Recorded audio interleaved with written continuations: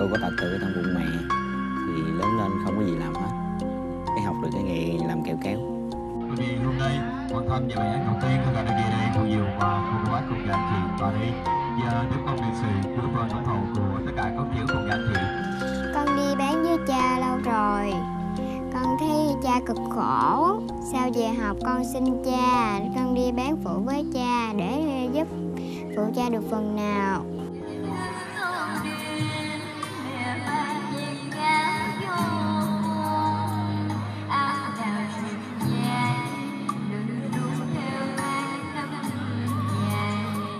bé thích hát giống cha lắm. Thì bé nói, cha ơi, dạy con hát. Thì tôi mới quyết định là dạy cho bé hát. Nhà cha dạy cho con hát nên con biết rất là nhiều bài hay. Mỗi khi con hát, các bạn thường vỗ tay cho con rất là nhiều.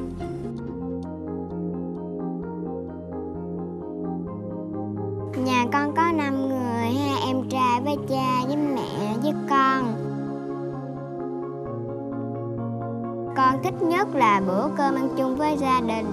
Ngồi chung với gia đình con thấy rất là vui. Hồi đó giờ con chưa đi thi chương trình gì hết Vì nhà con không có tiền mua đầm đẹp như các bạn khác. Tôi biết rằng chặng đường sắp tới sẽ đầy trong gai và vất vả. Nhưng tôi tin vào cái nghị lực đam mê của tôi và con gái tôi. Tôi sẽ cố gắng hết sức để làm để lo cho gia đình và con cái tôi sau này không còn khổ như cha nó nữa. Ra như một ca sĩ chuyên nghiệp bây giờ cất giọng lên hát thiệt hay cho giám khảo nghe nha. Không còn con sông Nước dân tràn lên bãi bờ. Anh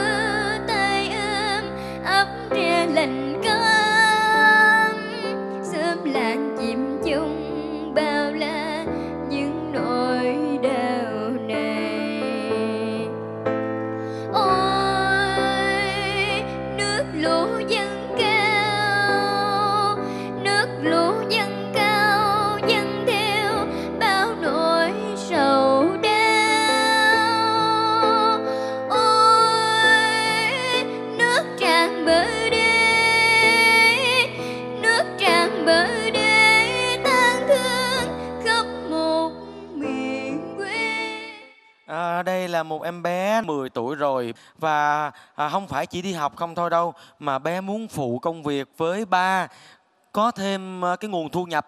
Cho nên là hàng đêm bé cùng với ba có đi hát ở những cái quán ăn những cái nơi mà có đông người đó để có thêm thu nhập cho gia đình. Tức là con bán với ba cái gì? Dạ con bé kiểu kéo. À tức là không phải mình hát ở sân khấu mà mình hát ở chỗ những cái quán rồi người ta nghe mình hát hay người ta mua kẹo để giúp đúng không? Con hát như vậy được bao nhiêu lâu rồi? Dạ hồi từ con 3 tuổi. Vậy là có thâm niên nghề nghiệp là 7 năm rồi đó. Lúc đó 3 tuổi thì con con lúc đó con biết gì đâu mà con hát. Rồi ba con ờ, có ở đây không? Dạ có. Con có muốn Dạ. hát chung với ba không? Dạ muốn. Muốn vậy hả? mời ba lên Dạ. luôn được không con? Dạ được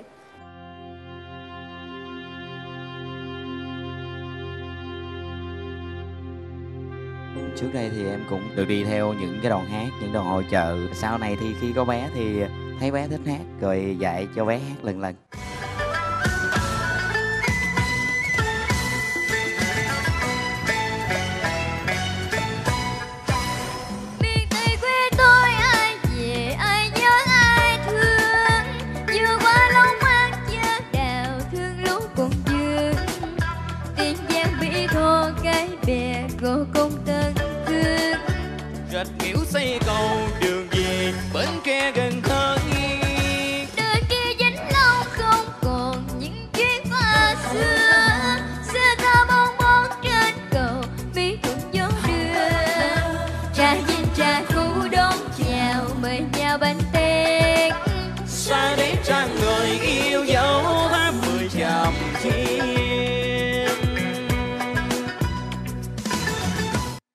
Cảm ơn hai cha con. Hai cha con đi hát với nhau thường xuyên thành ra hòa giọng nhau cũng rất là hợp.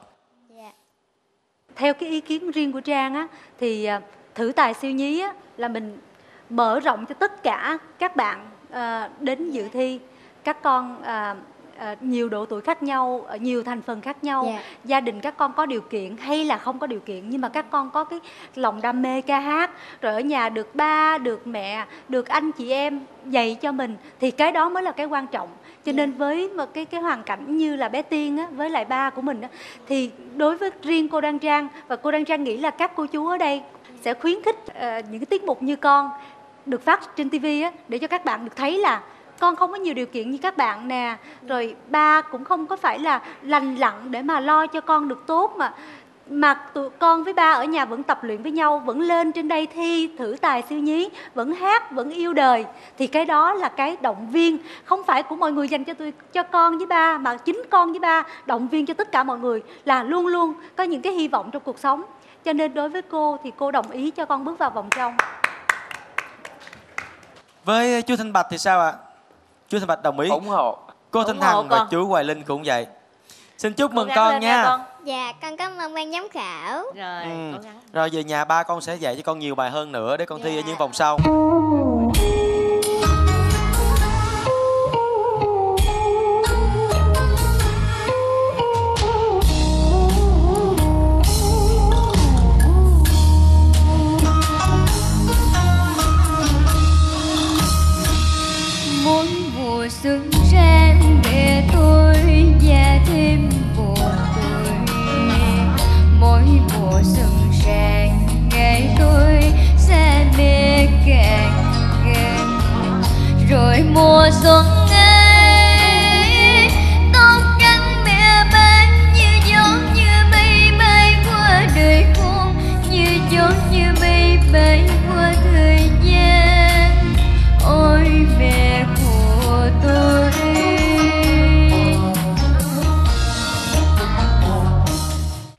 thì con hát cái bài này chú lại thấy nó bắt đầu nó thoải mái hơn.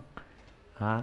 Thì cứ tiếp tục thoải mái như thế con nha cái bài này nó chưa có tạo điều kiện cho con thể hiện hết cái vẻ đẹp của giọng hát của con. Trong cái bài hát này, cái tốc độ của nó hình như làm cho con không đủ cái cơ hội để con diễn tả cho nó đẹp hơn, cho nó sâu lắng hơn. Thì cái điều này thật là khó cho chú, để chú suy nghĩ một chút cô hy vọng là lần sau nếu mà cô được quay trở lại thử tài siêu nhí cô được gặp con lại nha. À. Dạ. Vậy thì mời à, cô thanh hằng cô thanh hằng cho quyết định của mình ngay ạ. À, cô thì rất tiếc cô xin lỗi con. À, cô không có đồng ý.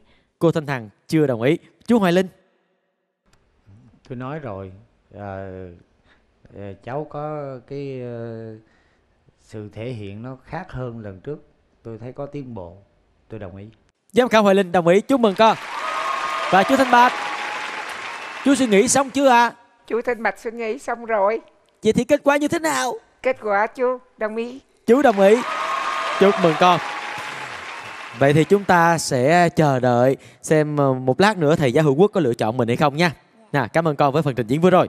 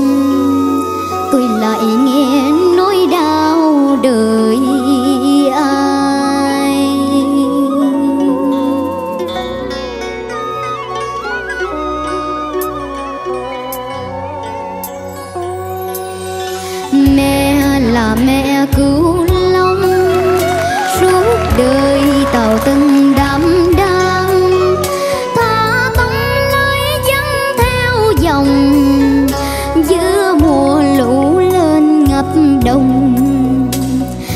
Dòng là dòng cuồng mau, khiến xuồng là xuồng kia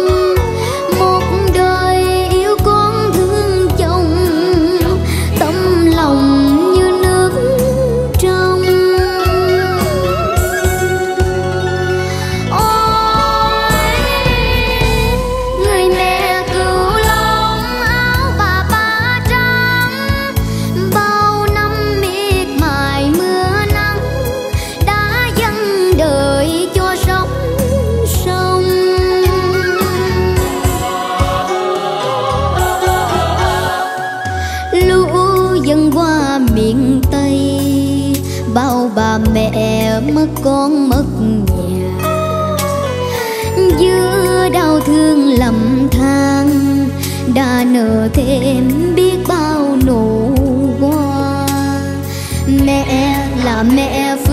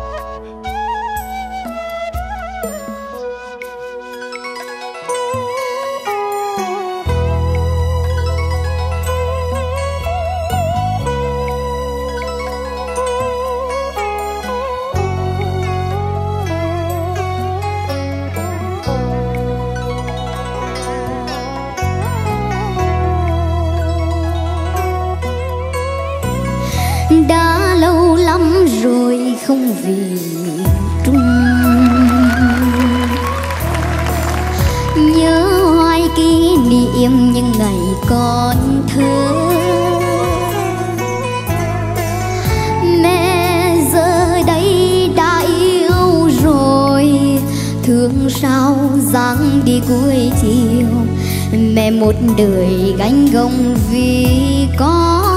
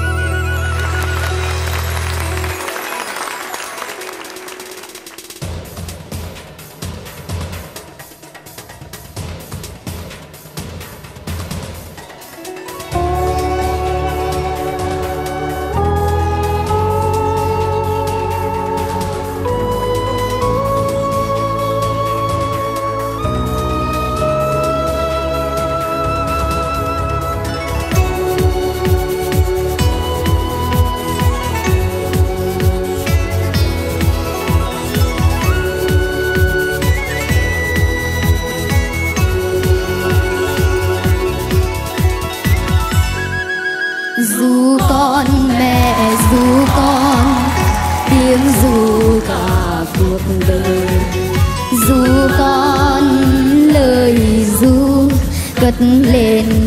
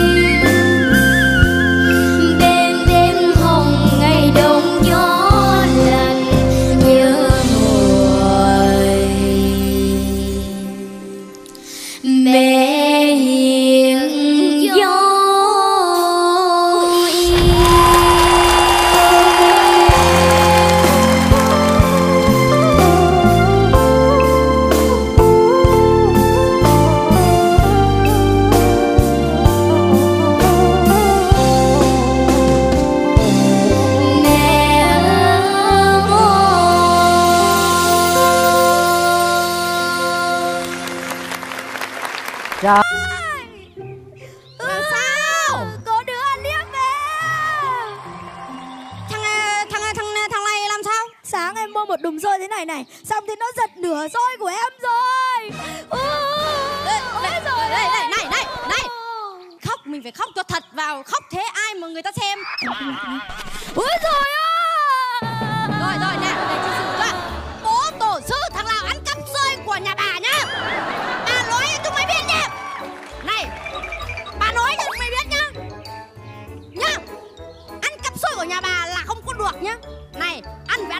Còn thường một cọng xôi nào nhá? Bà bà bà tìm thấy đứa nào nhá? Bà vả cho thì vỡ mồm nghe chưa áo nào áo xanh chứng kiến ơi chị hai ơi. Ôi lại làm sao nữa? Sáng nay em đi mua xôi có đứa giật hết xôi của em rồi lại xôi nữa? Tổ sư đứa nào thích ăn xôi thế? Từ nhỏ đến lớn chưa giờ được ăn xôi à? Bảo mẹ bảo cha nấu cho xôi nhá. Đừng có thấy nhá nhà này không có cha không có mẹ chỉ có con chị này. Là bắt đầu nhá bắt nạt hai đứa em nhá. Ô, này nửa gói xôi. Thằng này cũng nửa gói xôi. Này, thế rốt cuộc là ai lấy xôi? Một, hai, ba.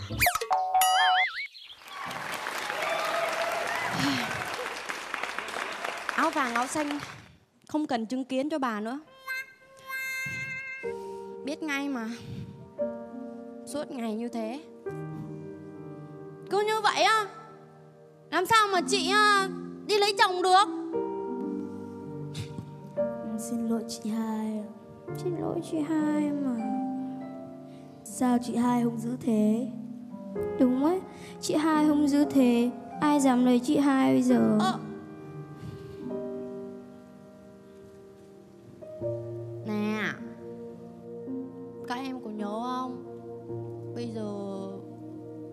còn ba chị em mình thôi.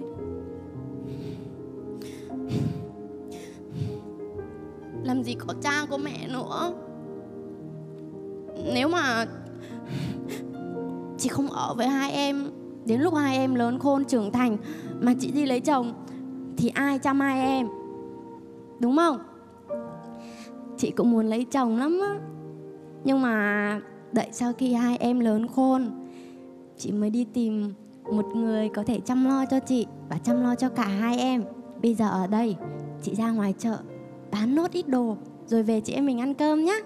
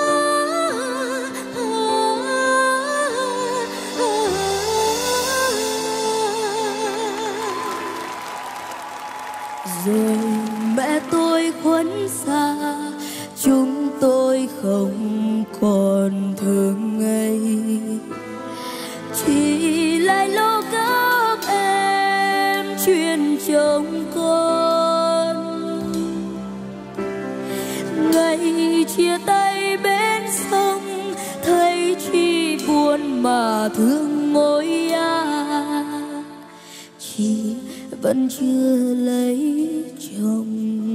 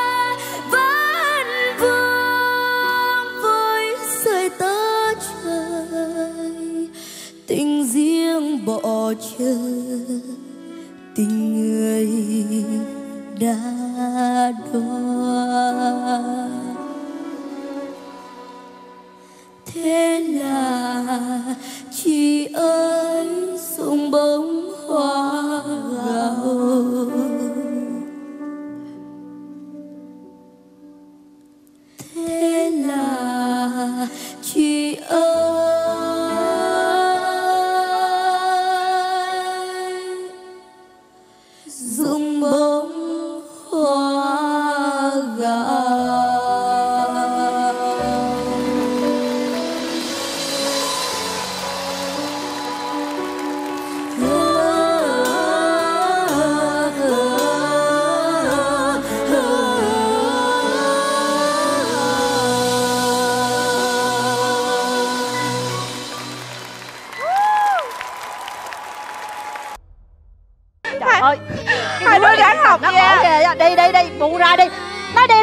về lo cho tụi bay chứ. Đi ra đi ra chỗ khác. Đi đi đi chị đi mua đồ. Cho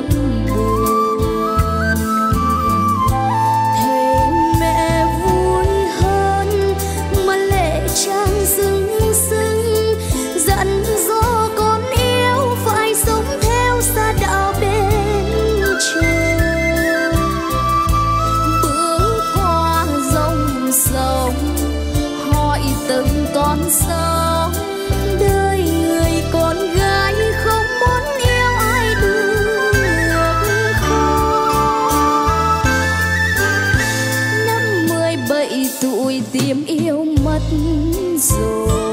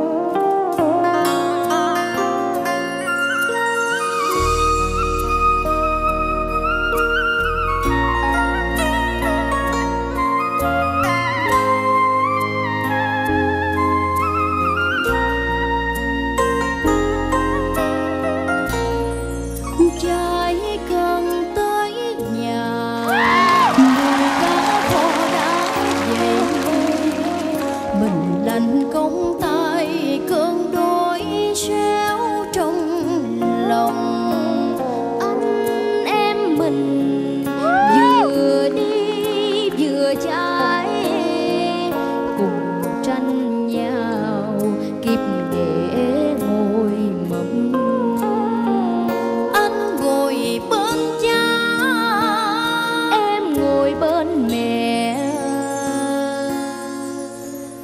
Vậy, anh hai sẽ ngồi bên cha nha.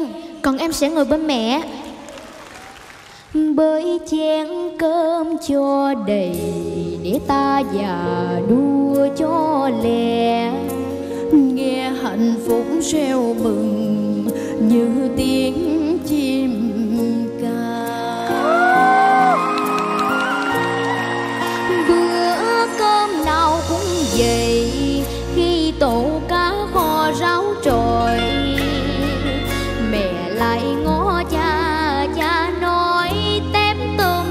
phần để nuôi con.